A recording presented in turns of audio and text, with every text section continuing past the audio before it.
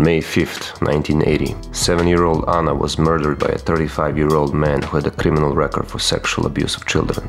On March 6, 1981, the third day of trial for the murder case of little Anna, the final verdict for the perpetrator was delivered, not by the judge, but by Anna's mother herself.